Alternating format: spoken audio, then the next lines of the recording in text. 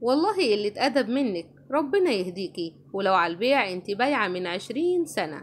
رد وائل عبد العزيز على تصريحات شقيقته الفنانة ياسمين عبد العزيز.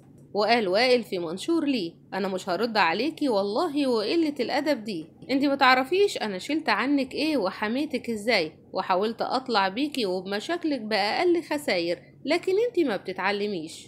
ربنا بيدي الإنسان دروس ودرس مرضك ما تعلمتيش منه أي حاجة. ربنا يهديكي. ولو على البيع انتي بايعة من عشرين سنة وإحنا اللي بنشتريكي.